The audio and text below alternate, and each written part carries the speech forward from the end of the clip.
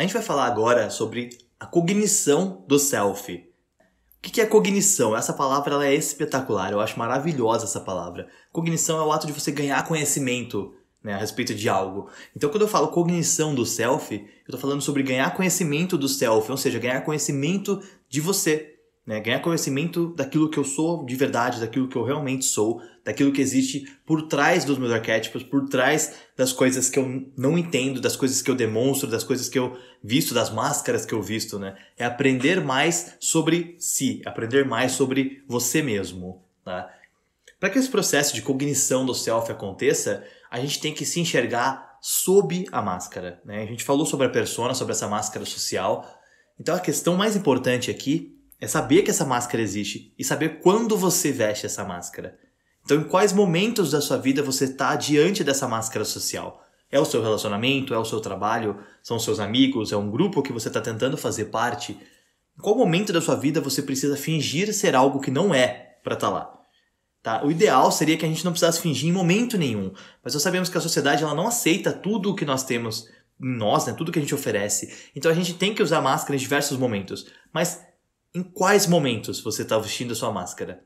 Em quais momentos você está usando a sua persona? Você está diante dessa máscara social? Porque você precisa se conhecer sob a máscara.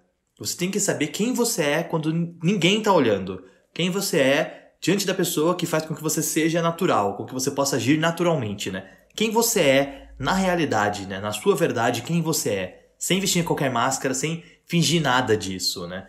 E outro conceito que a gente falou então da sombra também é muito importante para isso, porque é saber que a sombra existe e você tem essa parte ruim, você não pode reprimir aquilo, você não pode rejeitar aquela sombra, aquilo é você também. Mas no meio da sombra, né, entre essa sombra, entre aquilo que você é, você tem que ser luz. Tá? E não é o papinho da autoajuda, não. Quando eu falo ser luz, não é nem na questão espiritual da coisa. Ser luz no sentido de enxergar melhor, tá? Ser luz no sentido de enxergar dentro daquela sombra. Então, entender que aquilo acontece, sabe? Entender que existe aquela sombra, que aquele comportamento negativo é você, também faz parte de você, mas ser luz a ponto de enxergar dentro dele. Porque se você não consegue enxergar dentro dele, a gente vê que a sombra, né? O jogo mostra isso muito bem, inclusive, que a sombra, quando a gente não percebe a nossa atitude, quando a gente não é capaz de olhar para ela, de enxergar aquela atitude corretamente, essa sombra toma conta de nós. E também é muito perigoso isso, né? Eu não vou falar agora, vou aprimorar um pouco mais, eu não falei na aula de sombra, mas quando você está falando sobre a sombra, quando você está mostrando aquela atitude negativa e você reprime aquilo, você não percebe, não aceita, não lida com aquela atitude, a consequência daquilo é que você se torne a sombra. Né? Que a sombra tome conta de todas as suas atitudes, que ela seja capaz de controlar você por inteiro. Então, vamos supor que você tem um gatilho que te deixa com muita raiva. E aquele gatilho se torna constante na sua vida, mas você não percebe aquele comportamento, você não percebe que aquele gatilho desperta raiva em você. Você projeta a sua sombra em outra pessoa. Você não é luz a ponto de enxergar no meio da sombra. O que, que vai acontecer? Essa sombra vai se tornar tão constante na sua vida que você vai passar a ser a sombra. E ignorar o self também, ignorar aquilo que você é. Então, quando eu falo de cognição do self, é aprender o que você tem de melhor, mas aprender também o que você tem de pior. Porque quando você aprende o que tem de pior, você consegue lidar com aquilo. E você não permite que a sombra tome conta de você. Então, nos jogos, o que, que a gente vê? Você entra dentro do universo de uma pessoa, especialmente do Persona 5, no, no palácio, ali no caso, ou no, na cadeia, se a gente estiver falando do Persona 5 Scramble. Você entra dentro daquele universo daquela pessoa e você encontra a sombra dela lá. Só que essas pessoas elas estão tão corrompidas pelo comportamento da sombra que a sombra é ela. A sombra molda o comportamento dela. A sombra tomou conta dela no interior, é o que a gente vê nos jogos, né? Então a sombra tomou conta daquela pessoa dentro dela, que é onde você vai lá até enfrentar a própria sombra, dentro do, do contexto do jogo, claro. Mas é, essa, o fato da sombra tomar o controle dela por dentro faz com que as atitudes dela no mundo real, as atitudes dela no exterior daquele, daquele mundo cognitivo ali no caso, sejam ruins, sejam negativas, porque estão sendo controladas pela sombra. E essa é, é a dificuldade. Se a gente não aceita a sombra, se a gente não aprende a lidar com a sombra, as nossas atitudes começam a ser controladas por ela. E a gente não consegue perceber que isso está acontecendo, porque a gente não sabe que aquilo somos nós, né?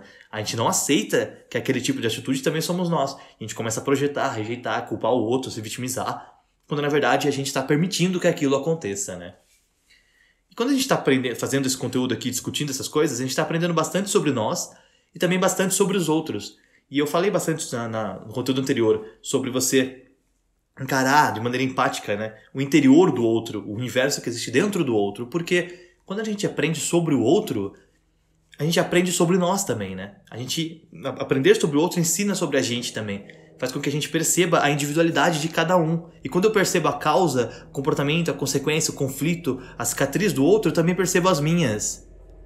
Quando eu presto atenção na história do outro para perceber o que, que, qual parte daquela história afetou o comportamento daquela pessoa, fez com que aquela pessoa reagisse daquela maneira, justifica o comportamento dela indiretamente, como eu já disse, né? Justifica a consequência do que ela está passando, eu também percebo isso em mim.